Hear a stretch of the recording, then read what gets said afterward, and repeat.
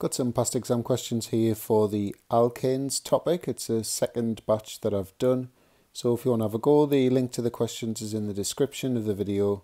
So just click on that, try the questions and then play the video for the answers. Okay, so question one's about the cycloalkanes. So we've got a table of three. Cycloalkanes got the name, the skeletal formula and the boiling point. First question, what's meant by the term homologous series? So the definition is compounds with the same functional group or same chemical properties, but each successive member differs by CH2. General formula for these cycloalkanes is CnH2n because at each carbon you've got two hydrogens. So obviously you're going to have double the amount of hydrogens to carbons. And now we've got to explain the increase in the boiling point of the cycloalkanes. So you can see clearly as the um, number of carbon atoms in the molecule increases, so does the boiling point. So that's down to the strength of the intermolecular forces between the molecules. So something like this would do. As the number of electrons increase, the strength of the induced dipole or London forces increases. More energy is therefore needed to overcome the intermolecular forces. So it's really important that you, you name the type of intermolecular force involved. So induced dipole or London. And then once you've done that, you can just refer to them as intermolecular forces. Part B gives us the bond angle between the carbon atoms in cyclohexane.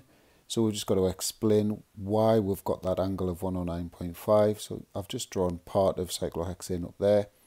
So around each carbon, you've got basically four bonding regions. So they would all repel equally. And that would give you the tetrahedral shape and obviously that 109.5 degree angle. Okay, so moving on to part C now. Slightly tricky this one we're not familiar with um, um, alkanes undergoing addition reactions. So we're told that without UV, cyclopropane undergoes addition reactions with bromine, suggests the structure of the uh, product. So if you think about cyclopropane, all of the carbon atoms are currently making their four bonds. So we can't add bromine onto that.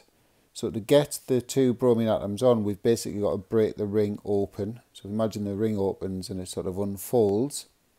And that would allow a bromine to go on at each end. So we need the bromine on carbon 1 and carbon 3. A Couple of multiple choice questions now. So which equation shows a propagation step in the mechanism for this particular reaction? So A is not right because that's an initiation reaction. B is not right because that's a termination reaction. C looks like it could be right because it does look like um, a propagation reaction, but when chlorine radicals react with things like that, they will always take a hydrogen and make an HCl molecule. So that's why D is the right answer. So chlorine radicals always remove H to make HCl. How many structural isomers have the molecular formula C5H12? So I would just draw them out. So obviously you've got the chain of 5, reduce the chain to 4, the main chain to 4, put a branch on, so that branch can only go there, because if you put it there you've got the same molecule. And then reduce the longest um, chain to 3, you've got two methyl groups, and you've got that there. So B was the answer, 3 possible structural isomers. Question 4. Explain how sigma bonds are formed. State one feature of this type of bond. So the sigma bonds formed when a shared pair of electrons, so you're getting in the sort of fact that it's a covalent bond, shared pair of electrons formed by end-to-end -end or direct overlap of orbitals, and these bonds can rotate freely. So we've got this long question five to finish with. So first thing, what's the empirical formula of hexane? That can be simplified and still have whole numbers to C3H7. Part B, what's meant by the term saturated and hydrocarbon? So saturated is where all the carbon-carbon bonds are single bonds, basically. Hydrocarbon, compounds that contain only carbon and hydrogen. It's really important you have only there. Skeletal formula for 2,2-dimethyl butane. So you need a main long chain of four, one, two, three, four, and then two methyl groups off the second carbon. You could have put them down there if you'd wanted. Moving on to part D, where I've got to describe and explain the trend shown by the boiling points of the hydrocarbons in the table. Um, in the previous boiling point trend question, it was all down to the number of electrons. Well, it's not here because they've all got the same molecular formula. They're all structural isomers. It's down to the amount of branching. So you can see in hexane, there's no branching. In 3-methylpentane, there's that one methyl branch. And in 2,2-dimethylbutane, we've got two methyl branches. So you see the boiling point, as the number of branches increases, the boiling point decreases. So something like this would be fine. As the extent of branching increases, the boiling point decreases. Branching reduces the amount of surface contact between the molecules, that's what it's all about.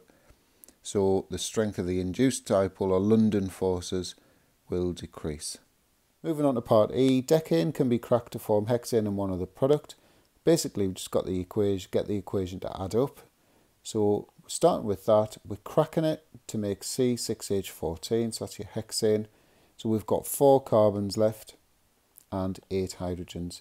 So you could do that, or you could say that that was two ethane molecules. It still kind of fits the question because it's just making two products.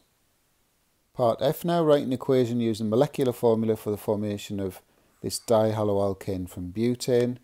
So I'll just talk about this first. So every time you make a substitution, you need a halogen molecule, so chlorine in this case, and every time there's a substitution, you make an HCl molecule.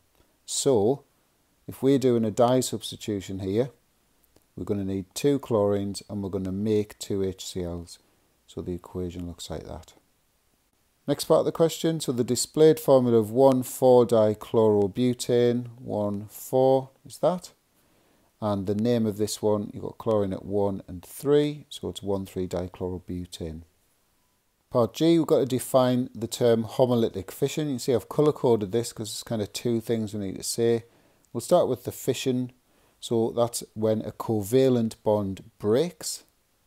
The homolytic bit one electron goes to each atom. So I've drawn a little diagram there. So chlorine is broken by the UV in such a way that the left hand chlorine gets one electron, the right hand chlorine also gets one electron. You could say there for the homolytic bit producing two free radicals if you wanted to, but I, I always use that one. Next part of the question, you notice the dots haven't been drawn by OCR. They sometimes do that, so I've just put them in there. Um, you don't have to, by the way, but just to make the point that that's the radical. So propagation steps, you always have a radical and a non-radical, making a new non-radical and a new radical. Okay, so um, remember what I said before, chlorine radicals will always take out hydrogen and make a hydrogen halide. So we get an HCl and then the leftover, so basically that minus the hydrogen, is the new radical. That then feeds into the second propagation step where it reacts with a um, halogen molecule and you get the dihaloalkane and a chlorine radical. And then the final question, we've got to write an equation for the incomplete combustion of butane. Incomplete combustion forms either CO or C you can actually make both of those, but it kind of makes the equation a bit more complicated to write. So we'll just keep it simple. There's no point complicating it if we don't need to. So you can see I've written the carbon monoxide version and I've written the carbon version.